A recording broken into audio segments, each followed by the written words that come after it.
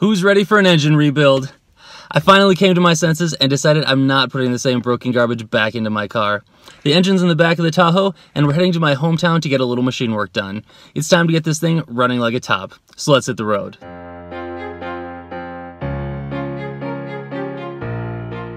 Alright, we made it. So, it is Thursday night, and I've got an appointment with the machinist in the morning. The plan is we're gonna have a marathon weekend of tearing the engine apart tonight, machine work tomorrow, and then reassembling the engine this weekend. By the end of this video, we're gonna have a completely refreshed engine that's ready to roast some tires. So let's get to it.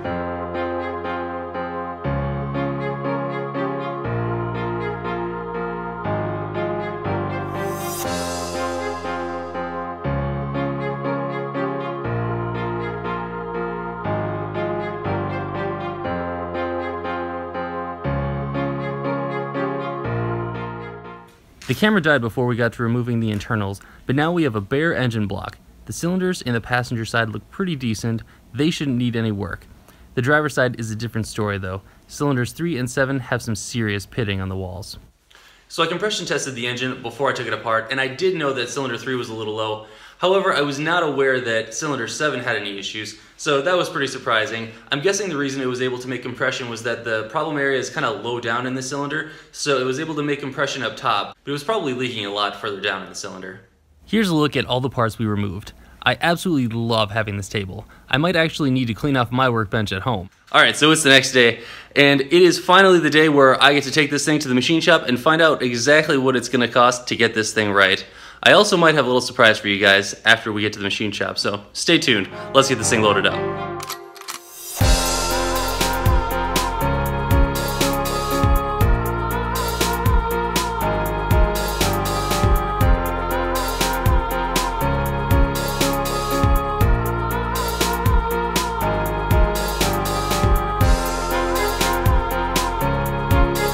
So just finished talking to the machinist, and it's kind of a good news, bad news scenario. The bad news is it needs a little more work than I originally thought. I'll give you a full report once I hear back from him. But the good news is the engine came with forged pistons, so I should be able to sell those and make a few bucks. Unfortunately, this means I can't put it together this weekend, so we're gonna have to pick this up next weekend. All right, it is the next weekend, and I'm ready for round two. I've got all my parts over here back from the machine shop, so this thing is ready to be put back together. My original plan was to have the machine shop really just do the bare minimum to get this thing working properly. I wanted to fix up that crusty cylinder and fix my cylinder head so they stop leaking oil. Unfortunately, these projects tend to snowball on you and it can never be that easy. As the machinist started looking through my parts, it became very clear that almost nothing could be reused. First, there was a little too much clearance between the pistons and the cylinder walls, so the machinist bored all of the cylinders and properly fit the set of 60 thousandths over pistons. Then, my cylinder heads were in really rough shape. They needed all new valve guides, all new valves, and even my valve springs were bad. It would have cost so much for me to fix them up that I decided they weren't worth running at all. Which brings me to these bad boys. I got this sick pair of Brodix aluminum cylinder heads. These puppies are going to be a huge improvement over the stock iron heads I was running. They've got 205 intake and 160 exhaust valves, so they will flow a ton more air. They probably weigh half as much, so there'll be some serious weight savings as well. I decided to upgrade my rocker arms as well. They are full roller rockers and they use a 716 stud, so they should make my valve train much more stable at high RPM. Alright, it's time to put this thing back together. We'll start by dropping the crank into the block.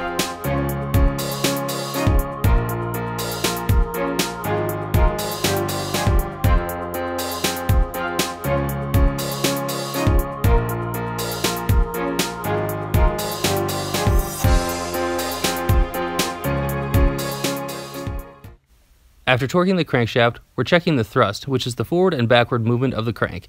We're checking it with the dial indicator to make sure it's within spec.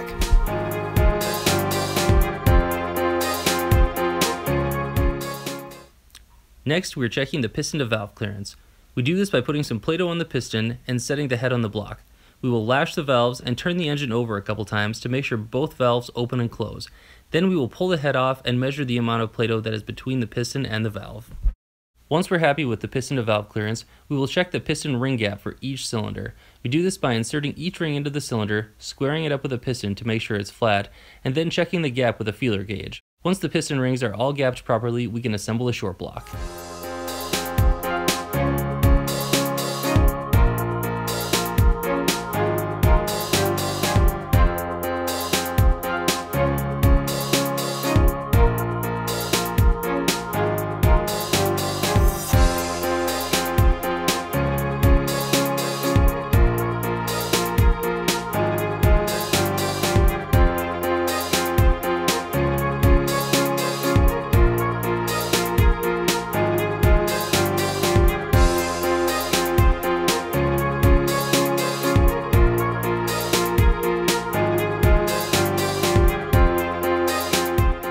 We made some good progress so far. I just wanted to show you the pistons quick before I cover them up. Now back to the time lapse.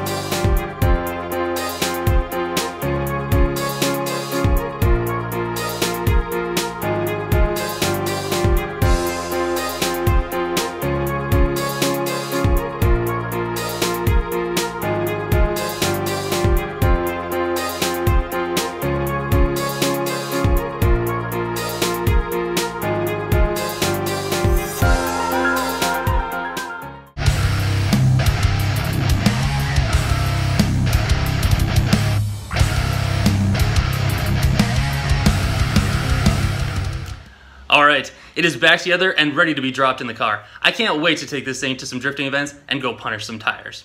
If you like this kind of tech, please consider subscribing to the channel. Please like the video and let me know what you thought in the comments. Also, make sure you follow me on Instagram and Facebook to get updates between videos. So that's all for this one. Thank you so much for watching, and I'll see you next time.